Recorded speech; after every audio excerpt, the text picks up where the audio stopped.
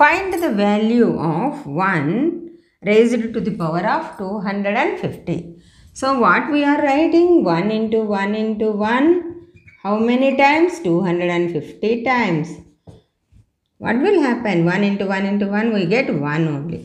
So 1 250 times gives us 1. Here 10,000 raised to the power 0. Any number with power 0 gives us 1. So this is equal to 1.